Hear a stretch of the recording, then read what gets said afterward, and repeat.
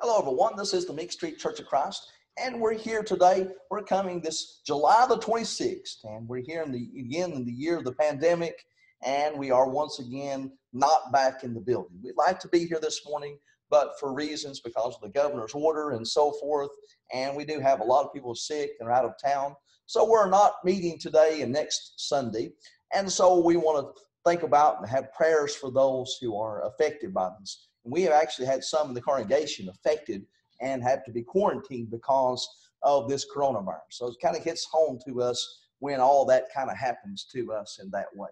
But I want to talk about God's Word this morning. As we look at God's Word and we want to talk about the things that be of God of an eternal nature, as God wants us to do each and every first day of the week. The Bible teaches us and directs us to do so. And even in times like this, we still have to focus on and keep our uh, priorities where they are in God's Word today. We're going to talk about a very important uh, subject. A man from the New Testament. He's one of the last of the prophets of the Old Test of the Old Testament, going into the New Testament, and we'll look at lessons from a great man, John the Baptist. And it's actually in the four Gospels that we'll look at the life of John the Baptist. We'll look at several passages that talk about this great and wonderful man. And we'll look at our lesson text as Matthew chapter 11, verses 7 through 11. Let's look at, see what the Bible says concerning this great man. In verse 7, the Bible says, As these men were going away, Jesus began to speak the crowd, to the crowds about John what did you go out into the wilderness to see? A reed shaken by the wind? But what did you go out to see? A man dressed in soft clothing? Those who wear soft clothing are in king's palaces. But what did you go out to see? A prophet. Yes, I tell you, and one is who is more than a prophet. And the Bible goes on, verse 10. This is the one about whom is written. Behold, I send my messenger ahead of you who will prepare your way before you. This is actually prophecy about who it was would be the forerunner or the one that would go and prepare for the Messiah, Jesus Christ, and would announce to people his coming and go and do this great important work that God had planned even from long ago. In verse 11, the Bible goes on to say, Truly I say to you, among those born of women, there has not arisen anyone greater than John the Baptist. Yet the one who is least in the kingdom of heaven is greater than he. And this is one of the things, well, we get that this is talking about John as a great man. That's where we get our, our lesson text or title of our lesson. How that John was a great man. And he had a lot of, not say, big shoes to fill. As we know that Elijah was one of the great prophets of the Old Testament and John the Baptist was in the likeness of Elijah. And so we can understand who it is by looking at Elijah's life, how he was. There's a lot of similarities between him and Elijah as we look at John the Baptist's life in regard to that. Let's look at some of the things about John's character and his traits. One of the things we see uh, really in the book of the Gospels, the Gospel of Matthew, is the fact that he lived a simple life in Matthew chapter 3 beginning with verse 3. The Bible says, when Herod, actually in verse 3, says, For this is the one who referred to by Isaiah the prophet. You back up verse 1 and 2. It says, Now in those days, John the Baptist came preaching in the wilderness of Judea, saying, Repent, for the kingdom of heaven is at hand. For this is he who is the one referred by Isaiah the prophet, when he said, The voice of one crying in the wilderness, Make ready the way of the Lord, make his paths straight. That's exactly what we see in John the Baptist. He was one who was a simple person. Verse 4 even tells us now John himself had a garment of camel's hair and a leather belt around his waist, and his food was locusts and wild honey.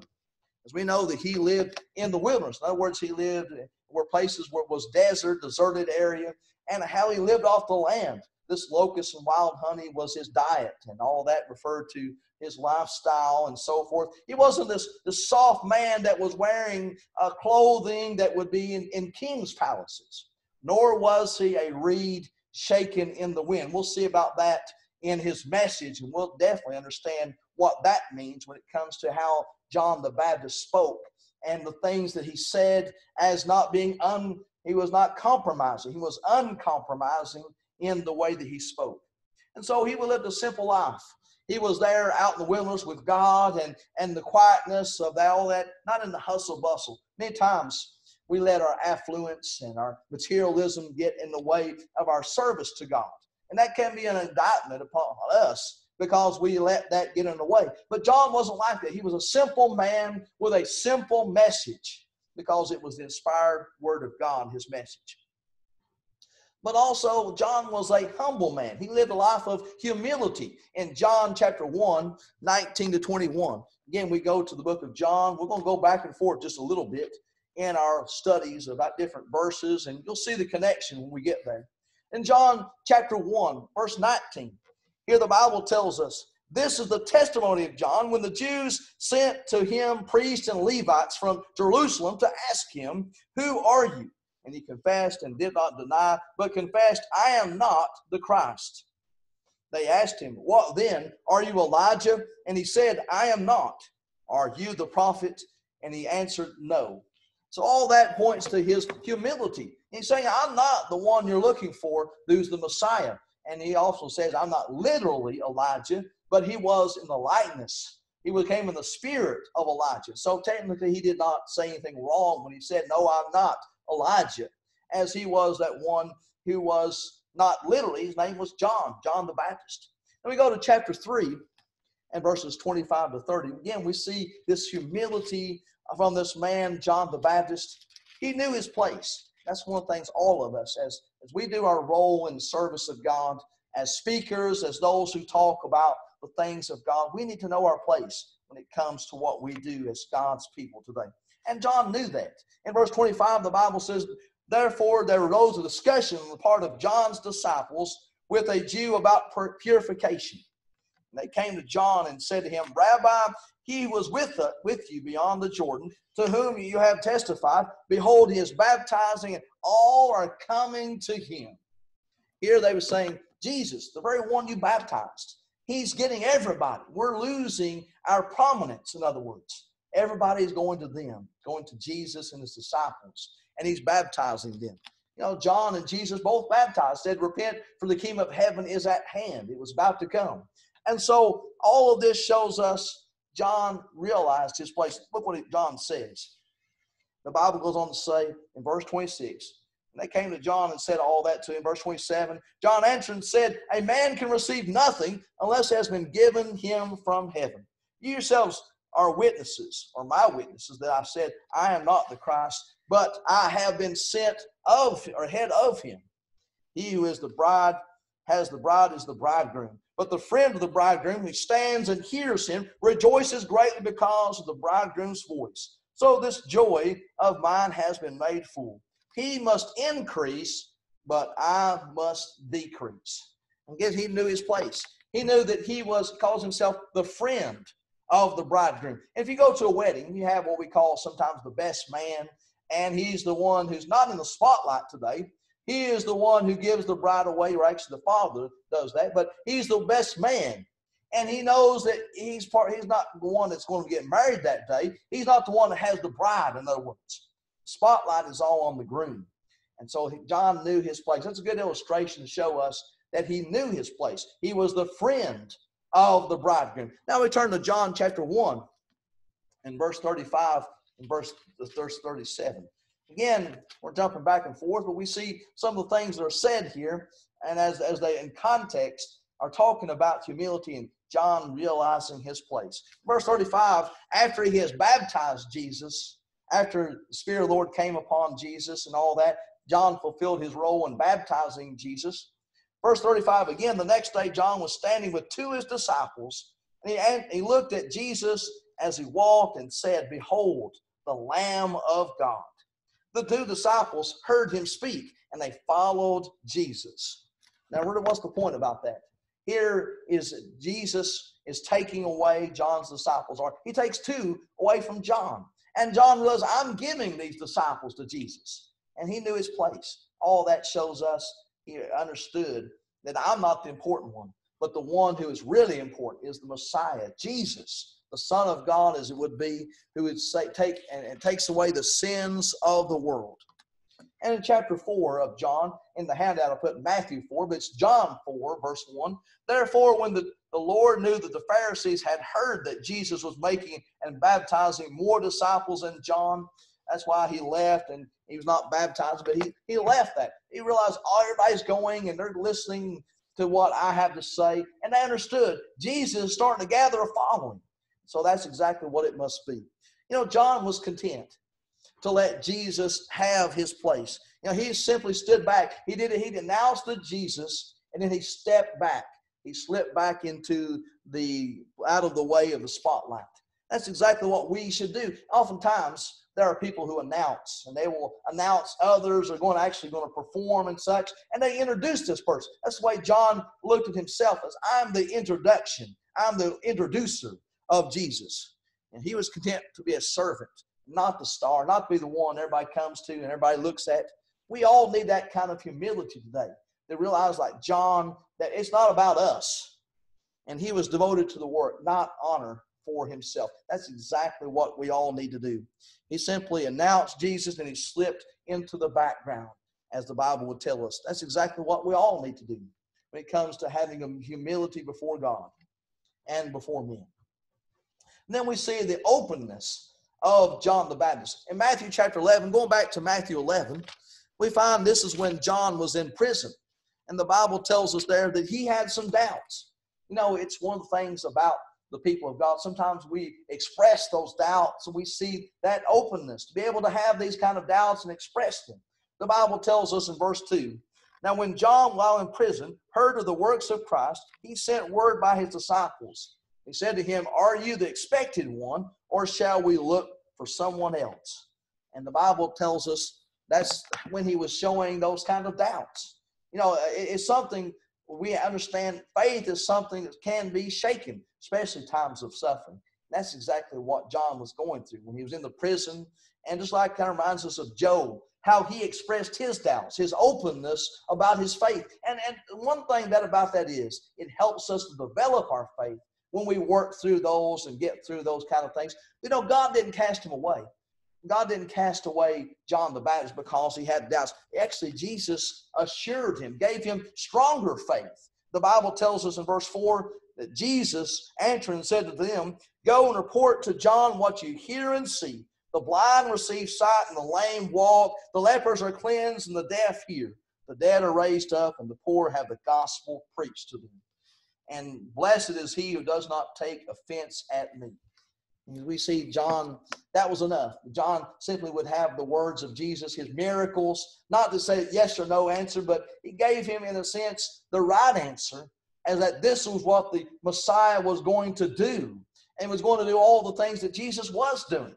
And so that openness, you know, sometimes when we, when leaders have weaknesses, it's easier to follow that person than someone else that doesn't have any types of weakness. We often think about Elijah. Again, Elijah was a man of like passions, such as you and I, as James tells us. And he's just like us. He's just a common uh, man just like us, or a person, a human just like us. There are times when we are, our faith may be weakened because of suffering. But as long as we don't lose our faith, God will still be with us through all the things that we suffer in this life. Then there's the idea uh, of John's forthrightness. And I really think about this in Matthew chapter 3, verse 7. Here we look back to Matthew 3, how that when he saw many of the Pharisees and the Sadducees coming for baptism, he said to them, You brood of vipers, who warned you to flee from the wrath to come? And here he's really telling us, in no uncertain terms, what these people really were. He calls them a brood of vipers. He was very straightforward and forthright about this. You know, John pointed out these are like snakes. These men are coming here. They're not really coming here for the right reason. They weren't coming to be baptized. They rejected the baptism of John. But yet he pointed out sin. And he pointed out the sins, even of all the people, when it comes to all the, the national sins of Israel, kind of get them come back to repentance. That's what repentance and that's kind of preaching will get people to do is to come back to where they need to be. And we need to be uh, straight on with people and say what needs to be said. He was an honest man when it comes to, he was a man of integrity when it comes to how he spoke to others. He said what was needed to the crowds, and did not compromise. He was this reed that was not shaking in the wind. In other words, he wasn't blowing around, going which way and the other, but he was firm. He was strong in what he was saying. And that's what we need today. We need bold preaching. We need people who will stand for the faith like John the Baptist and Elijah the prophet. And how that's that's part of what we do is pointing out sin and helping others to see the way that God wants us to live, and all of us need to live. And even was an example to, to others, all example to all leaders about this, about pointing out sin. But even more so was his example was in face-to-face encounters with others.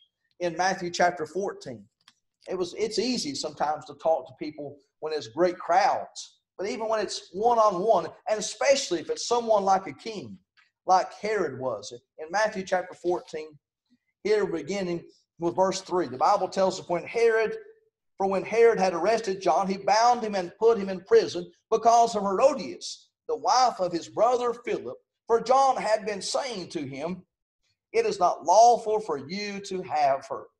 Now, he basically told him that this is wrong, what you are doing, this lifestyle that you have of taking your brother Philip's wife, which living in adultery, that idea of, of adultery there. God said in one of the Ten Commandments, they were not to commit adultery. And this is exactly what was going on. It did not belong to her. It was unlawful for him to have her. So therefore, it's unlawful for him to keep her. And so he's pointing out this type of sin. And that's really sometimes one of the hardest things to do because you think about the prominence of a king. You have to stand up and say something who could arrest you and put you in prison. That's exactly what got him into prison. And his forthrightness, his, his stand for the truth, as he would say exactly what needed to be said. And he taught the things about this, about the kind of leaders we need to have. That we're not to seek to please men.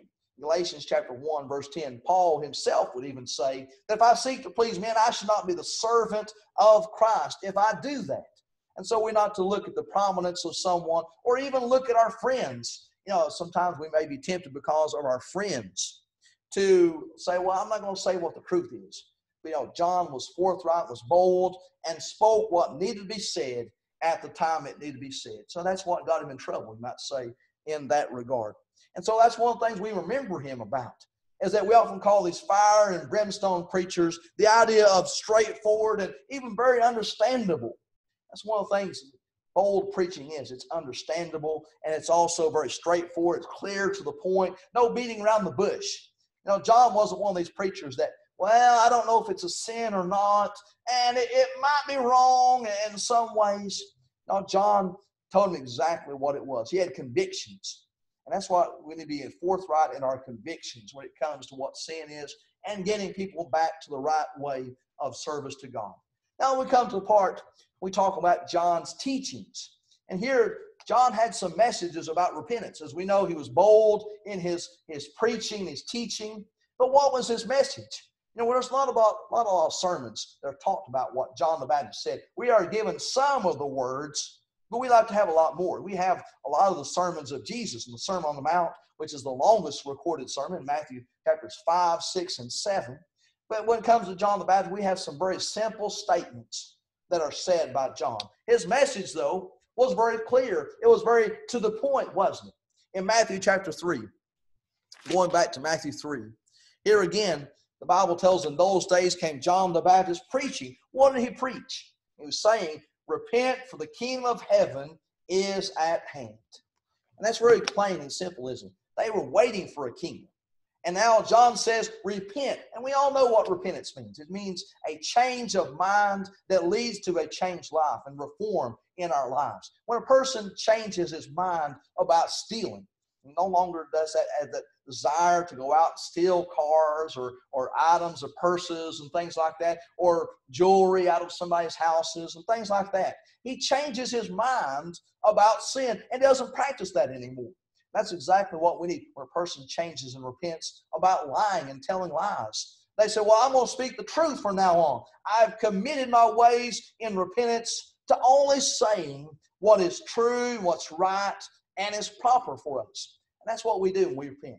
John's message was one of getting people away from the ways of doing evil things. You know, not 400 years of silence. they had times when they were not they were faithful to God, but there are also times when they were unfaithful to God. And the times their leaders, they needed to hear those words of repentance. The leaders, the Jewish leaders, the Pharisees and the Sadducees, they were corrupt in a lot of ways. They needed to change. Jesus in Matthew 23 talks about all the changes they needed to make about some of the things. They were hypocrites, blind guides, and they were shutting up the key to the kingdom of God in some respects because people weren't able to go into the kingdom of God in that prepara- prepara- preparatory sense, I should say. In the sense the kingdom was going to be established, and people need to go into that kingdom through the teachings of Jesus. And they would do that. On the day of Pentecost, they would follow the ways of Jesus into that kingdom. And so that these Jews, who were the ones who compassed land and sea to make one proselyte of these Gentiles and make him twofold the child of the devil because of their traditions, because of all the things they do, the washing of pots and things like that. And they would not do really what God wanted them to do. They actually made the outside look so good, but yet the inside, their hearts was full of dead men's bones, as the Bible tells us. And so they needed to repent. They needed to come back to God's ways. God's ways a life of purity.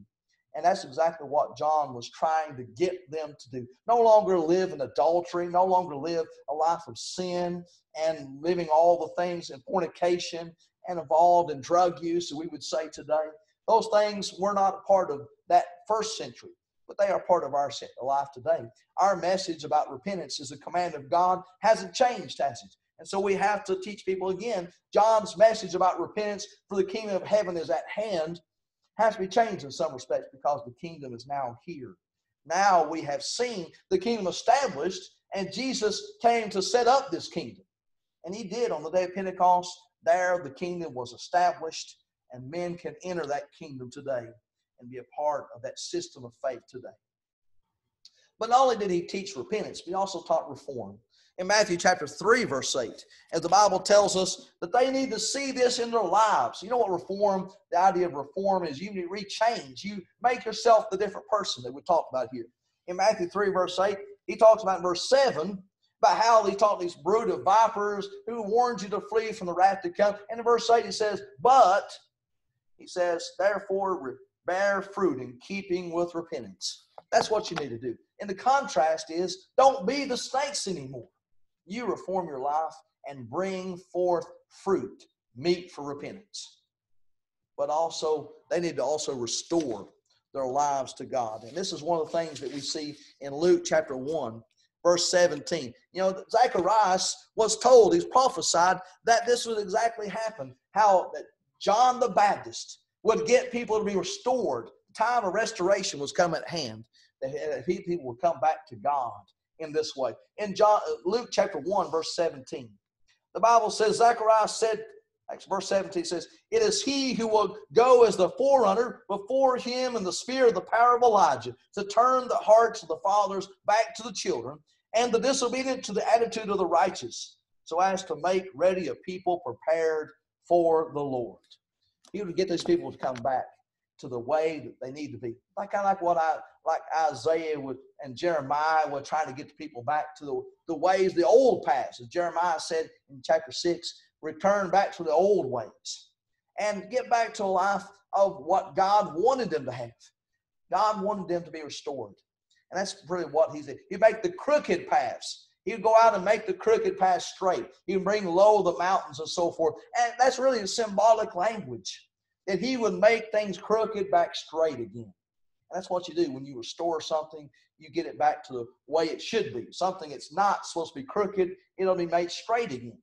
And so God, through John the Baptist, praying the hearts of people in that way. Was John's message a negative message? In Matthew chapter 3, verse 7 down to verse 12, as we read in Matthew 3, some of the things that Matthew says about him, we can think of this as being negative. If you think about it, often people say, Well, I don't like negative preaching. Well, this idea of preaching is you need to take things out of your life and change. God calls us, though, to make changes. You know, we often like the positive preaching where everything's encouraging and we say, you'll stand firm and talk about love and things like that. And we think about that.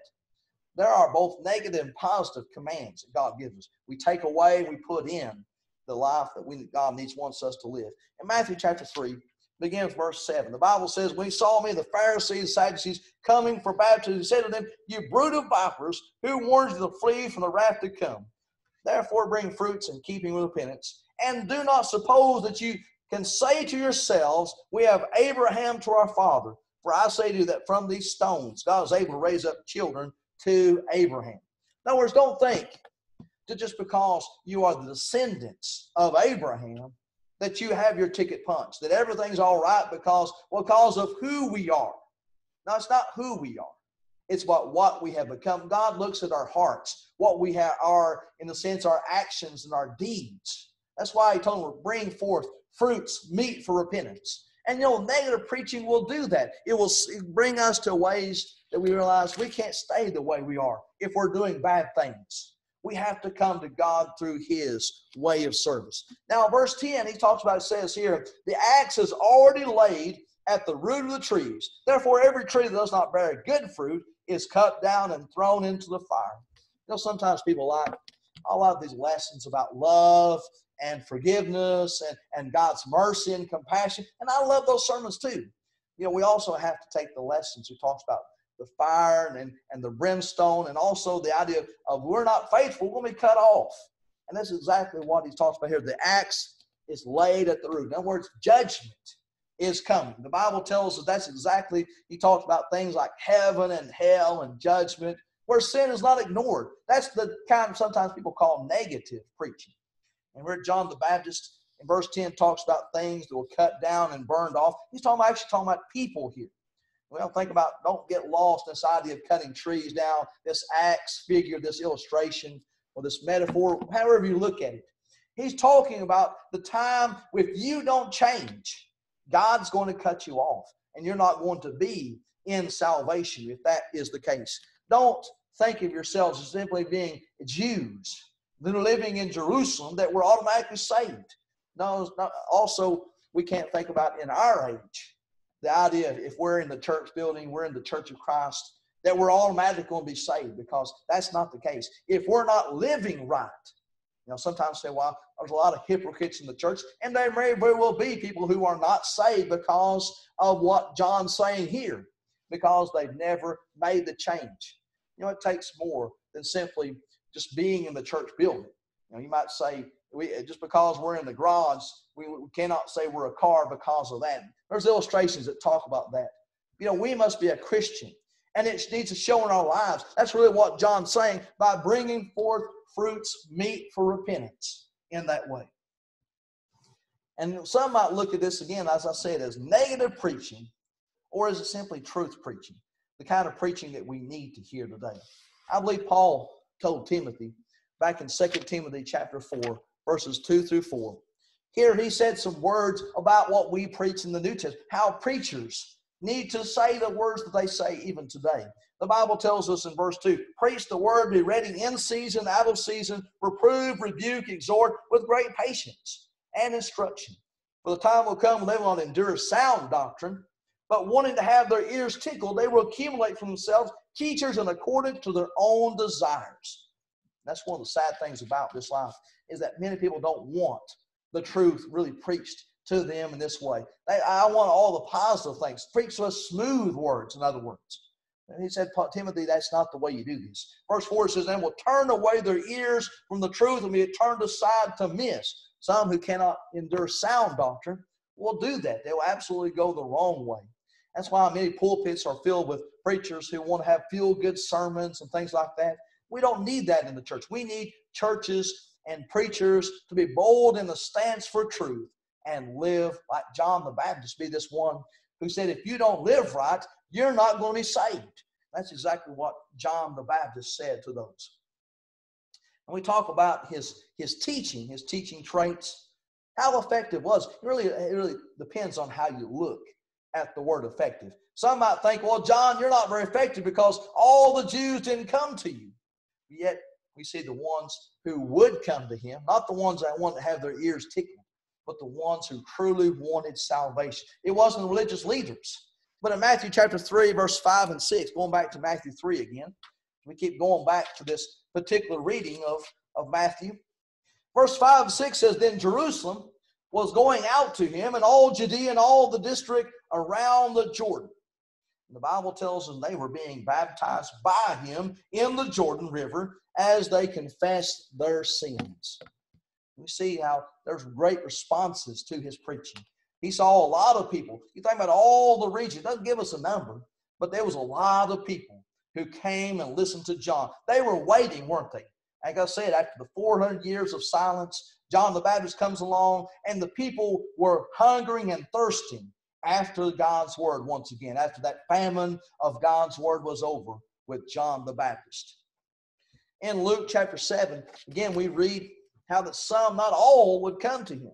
In Luke chapter 7, we see here in verse 29, the Bible says, When all the people and the tax collectors heard this, they acknowledged God's justice, having been baptized with the baptism of John. Notice what it says in verse 30.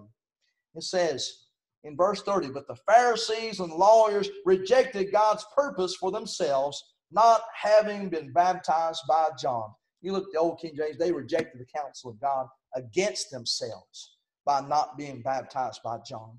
So there were some who would not come to him, even if they, they had to admit, you know, Jesus once told them, the baptism of John, was it from heaven or was it from men? And they couldn't say, they wouldn't say. They basically said they would incriminate themselves because Jesus would say, if he was from heaven, why didn't you go and be baptized by John? They did they neglected that, didn't they? But yet the Bible says they did not say. We, we simply can't answer. They dodged the question. They dodged the answer they should have given that, that John the Baptist was preaching from heaven. He had heaven's authority behind what he was saying. And so that makes him effective in that way and we think about some of the enduring retreats. I before I get into that, you know, there's some of the things that we need to have. A lot of times people go back up to this idea of effectiveness. What does it take to really be effective? It takes someone who is preaching the whole counsel of God, who's saying what needs to be said, and he doesn't fear the people and what they will say, whether they turn away or they believe. That's the way Jesus taught, isn't it? The Bible tells us when, when he taught some hard things in John chapter 6, the people walked no more with him because of that. And because of that, he saw many disciples. He turned to the 12 and said, Will you also go away? Now, he was effective, even though the crowds may not have been listening at that point. But yet, Jesus' ministry, when he gets people to listen to him the right way, doing the right things, that's effective because it's God says his word will not go back to him void. And that's exactly with us. If we are effective, when we speak the words of God, and even if everybody rejects it, still we're effective because God's will is done in that regard. Let's look at some of the enduring traits, some of the way things that got him in trouble. Here we're getting to the last part of John's life in Matthew chapter 14. The Bible speaks about here where he gets in trouble with, with Herod and, and all that happens with the, as I mentioned, Herod and Herodias and such. They'd had a, a bad marriage in, in some regard. And in verses 1 through 12, let's read this, this passage, all 12 verses. The Bible says at that time, Herod the Tetrarch heard the news about Jesus. He said to his servants, This is John the Baptist. He is risen from the dead. And that is why miraculous powers are at work in him. For when Herod had arrested John, he bound him and put him in prison because of Herodias, the wife of his brother Philip. For John had been saying to him, It is not lawful for you to have her. Although Herod wanted to put him to death, he feared the crowd because they regarded John as a prophet. And when Herod's birthday came, the daughter of Herodias danced before them and pleased Herod so much that he promised with an oath, notice that, with an oath, to give her whatever she asked. Having been prompted by her mother, she said, Give me here on a platter the head of John the Baptist. That's, they could have had anything they wanted, up to half his kingdom and so forth. But yet, now you whatever it is, I'll give it to you. If they wanted, they wanted revenge, didn't they? They wanted John the Baptist head on a platter. And go on to say, verse 9, although he was grieved, the king commanded it to be given because of his oaths and because of his dinner guests. He didn't want to be embarrassed having to turn that down. He simply said, I'll just give you what you want because of all that, because of my oath and such. Verse 10 He sent and had John beheaded in the prison. And his head was brought on a platter and given to the girl, and she brought it to her mother. You imagine such a scene. Here, John the Baptist's head is on a platter. And they're proud to have it there because finally they had revenge for someone who had, had said it's not lawful for you to have her as your wife. Evidently, she was extremely ill at John the Baptist. And she got her revenge. At least she thought she did. You think about that, how that's something that's no one should ever treat someone that way. But here the Bible tells that's exactly what happened here on this particular time. And verse 12 tells us his disciples came and took away the body and buried it, and they went and reported to Jesus. And that's when we find that Jesus recluded off to a place, and then he talks about John and how great John was, kind of a eulogy about John. John was a great man. No one born of woman was greater than John the Baptist. He stood to the end. His enduring traits was that he preached even though it cost him, it cost him his life because of what he said there.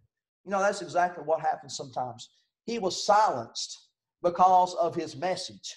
You know, oftentimes when people don't like the message, they will say, kill the messenger. That happened to the Old Testament prophets. People like Isaiah and Jeremiah and Ezekiel and others, they, they were killed.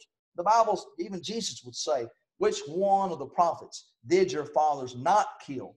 And so he's basically saying, Your fathers killed all the prophets that came and preached messages to them of repentance. And yet, that's exactly what happens here. Instead of repenting, instead of doing the right thing and separating and getting away and giving his wife back to Philip, his brother Philip's wife, Herodias, he simply said, I'm not going to do that. I'm going to stay with her, and we're not going to do that. And it caused her to have this ill will toward John the Baptist. But you know, the question comes inevitably did this, this death of John change the message that John said that's not lawful for you to have her? Did it change the truth of that statement? You know, we think about the time in the Old Testament, Jeremiah chapter 36 and verse 23. Here, Isaiah actually Jeremiah, was told to go and preach some things and prophesy doom and gloom to the house of God because of the things they were doing. They, they did not repent. They were not doing right. And yet God wanted to warn them, if you don't repent, all this is going to happen to you. And the Bible says you give the scroll, verse, first few couple of verses in, in 36 tells us that Jeremiah was told to go and take this to Baruch and, and make this scroll and, give it to the king. Baruch would give it to the king. The Bible tells us in verse 23 when, when Jehu had read three or four columns, the king cut it with a scribe's knife and threw it into the fire that was in the brazier until all the scroll was consumed in the fire that was in the brazier. You know what happened there? This man got upset because of the message. He didn't kill the messenger. Here. Oftentimes they would kill the messenger, and then they would do that later on. But here he gets rid of the message. And you know, did it change the message? Basically, God made him another scroll, Jeremiah another scroll, and they gave it to the king again. And, and, and so that message didn't go away. Just because we don't like the message, many times we may want the message to go away. That's exactly what happened to John. John did exactly what he needed. He was one who's persecuted for righteousness' sake. He did his course. He, he lived a life of purity and lived for the Lord Jesus Christ in that regard. He did the message that of what God would say in the prophets God's people need to hear. Oftentimes, when one voice is silenced, other voices need to come up and take its place. And that's exactly what happened. As people with God would stand up and, and continue to say the things that need to be said. And we honor the life of this man, John the Baptist, today. We think about some of the things he accomplished. You know, he was a servant, not a star. And he was devoted to the work, not honor. And yet he was one who we can honor today by saying he did the work of God and accomplished his mission as the forerunner of Christ and a great example to us of what God wants in you and I today as his people today. Hope you have been paid a good attention lesson today. Hope it's been beneficial to you in some way that we can look and see how God wants us to be and to live in this life and, and look at the Word of God and say, you know what, John the Baptist preached, I need to preach. When it comes to the way that he preached of repentance and life for God and the New Testament age. As we know, John died in the Old Testament before the New Testament was established, but yet he was a great man. He was a great man of God who did God's will. And that's an example to us. We need to do God's will today and live for the Lord Jesus Christ. We can help you to do that. Won't you reach out to us and let's say, I want to become a child of God, a child of Jesus Christ, and service to Him by faith, repentance, confession of your faith in Jesus Christ, and baptism into Christ to make you a New Testament Christian today. You can do that. We can help you do that in some way. We'd be happy to help and come to your house even and help you to obey the gospel and worship and serve God together in His kingdom today. Thank you very much for your kind attention to the lesson of our hour today. We'd like to be back in the building again, but that'll be soon. Soon enough, we'll be back in the service of God at the building once again. Thank you very much.